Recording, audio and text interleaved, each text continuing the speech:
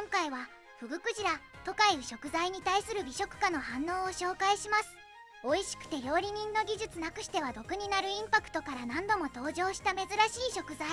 何度も失敗した小松の腕の比較に毒化しても味は変わらないだから闇ルートでも流通している。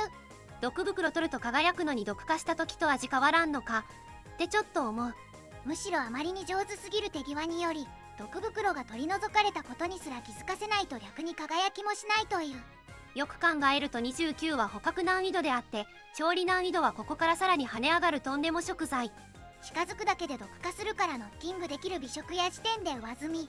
強さではなく入手難易度で捕獲レベルが変わることを簡単に教えてくれるやつ。モルスユライバル？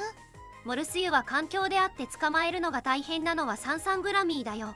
まあ確かに繰り返し使える下の油はライバルっぽいけどモルスユの方が性能上じゃねえかな。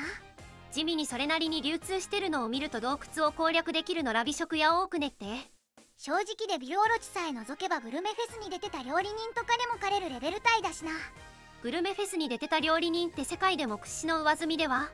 IGO 加盟国の人間界で6000万人のうちの100人だっけ料理人としてはそうだけど狩りをするなら最上位以外はグルメ騎士とカマフィアの方が上っぽくね。毒化しても闇で売れる以上たどり着きさえすれば毒化覚悟で雑煮網で取っても利益はありそう。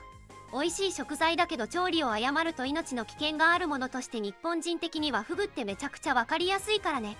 グルメ界に原種があることはあまり知られてない。原種の見た目はシスク全そっくりなんだけどあれ毒袋あるのかな？毒袋はアシスク時に生まれるからないぞソレリーガルマンモスではなくサンクスお前もおったんか縮む前の姿で小さくなってるみたいやな。モルスユは小松が発見したものじゃなかったか。一瞬で真っ二つにすればどちらかは毒にならないんじゃね。それが食よし。それができるなら食技の領域に足を突っ込んでる料理人なので変なことしないでも毒袋取り出せるという矛盾。次郎はヒレだけスパッと切ってたしノッキング技術高ければいけるかもね徹底クラスでなきゃ無理そうだけど切断面が毒袋通過したらどっちも毒になる。小松どうやってこいつさばくんだよって思ったけどフグクジラから歩み寄ってくれるか。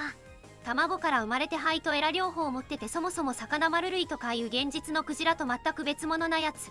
原種の最初のイメージが結構大きい感じだったからグルメ界で出てきた時のサイズが同じで。ん？ってなったわ。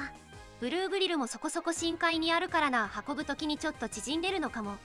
そもそも毒袋の位置も個体ごとに異なってくるからな。マジでこれが一番のクソポイントだよな。多分同じ位置なら捕獲レベル10以上は違ってると思うマニュアルできるし。これ1 3程度の大きさに一刀両断すればそれなりの可食部が取れそうじゃない？水中でそれだけ素早く切れたり水中から出すためにノッキングするのに技術がめちゃくちゃ必要なんだよね。触れるだけで毒化するんで毒化するより速い速度で切れないとどう切っても全身が毒化して食えない美食屋なら毒化より早くぶった切れるやついると思うがそれやると余波で他のフグクジラ全部毒化しそうだしそれだけ実力ある美食屋も結局ノッキングしてコネ使ってさばける料理人のところに持ってけるだろうなという。ノッキングが数分しか持たない美食屋なら割と有用だと思うわ。ゴリ押しでどうにかしようとする方が正攻法より高いレベル要求させるの笑う闇マーケットに絶対毒化する前に切断されたフグクジラの部位ですって言って毒化してるフグクジラ売ってると思う。全身に行き渡って色が変わってるから騙せない。実際困難だから履けないやつはノッキング1をやろな。毒袋除去に挑むのに1億かかるってのも怖いな。ビルドキングの主人公みたいに口の中で分離させて毒だけ吐き出せる人もいそう基本的にノッキングさえすれば毒袋を切らない限りは毒化しないのよねノッキングに時間制限あるんだからヒレとか毒袋ないところ切るのはありだと思う。なんか毒袋取り除くと光り輝くけどノッキングしない状態だと他のフグクジラが毒化するからやらないだろうけど。さばく手順を間違えた時点で毒化するみたいだから変なところ切った時点で毒袋も割れるんだろう。全ての個体で毒袋の位置が違うからある程度の毒袋の位置でパターン化してるのか。でも数ミリずれただけで毒化するんじゃここみたいに電磁波が見えたり食技身につけて。ないとどうにもなりそうにないがだから完璧に除去できるのが10人もいないって言われてるんでしょでもこの場合他の人は運ないと履けないのよね。それもある意味食運か完璧って意味も少しでもやらかしたら全てダメになるから100%絶対に履けますって意味だろうね。むしろ直感の出番だと思う毒素回って味変わらないとか絶対嘘でしょ。毒化したやつ売りたい闇市のデマなのでは。いやしかし公式の情報だし。毒素に味がないんじゃねえの？穴ザクって味を見出すとかは別として。毒キノコで有名なベニテンムタケに含まれるイボテン酸の旨味成分はグルタミン酸の10倍って話もあるしむしろうまいかもしれん。毒ってタンパク質の塊だから食ったらうまいのかも。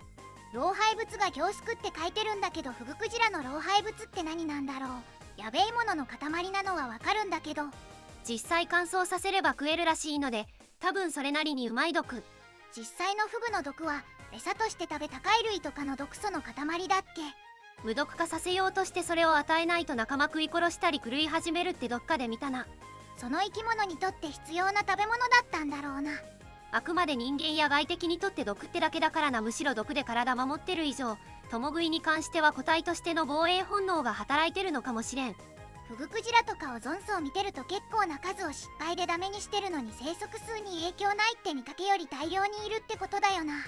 フグクジラって6メートルある時はいかつくて圧縮されて縮んだら緩い見た目になるのかと思ってたけどブルーグリルにいかついまま縮んでるやついるんだよな。足は縮むと緩い見た目になるけど原種は縮んでもいかついままなのかね。それかトリコが感じた気配は遺伝子に刻まれてる原種の気配でそれを縮む前の姿と誤認しただけで実は足はでかい時も緩い見た目してるのか。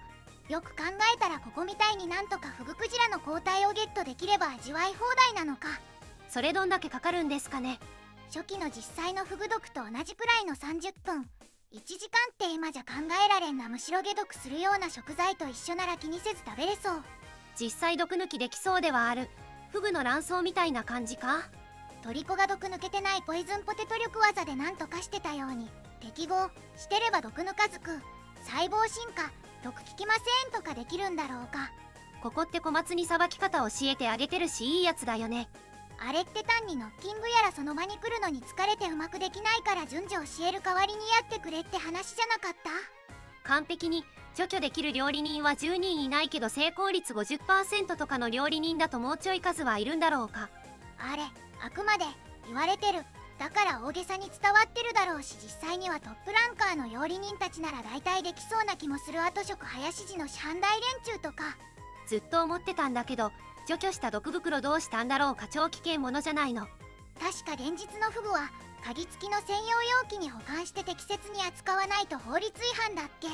手に持ったまま破れたらそのまま死にそうだよなあれかといってその辺りに捨てるわけにもいかんしそう。と砂浜に埋めるか？瓶のフレグランスに加工しよう毒ガス兵器だな。ちゃんと除去できれば毒袋も無害になる節取り子世界ならありえそう 10M サイズのクジラが深海に産卵しに来た結果水圧で体が縮小されると同時に旨味と毒が凝縮してフグサイズの体と毒袋になるって設定が好き実際にそうなるかは別としてちゃんと論理立ってるのがいい。動画を最後までご視聴いただきありがとうございます。高評価チャンネル登録よろしくお願いします。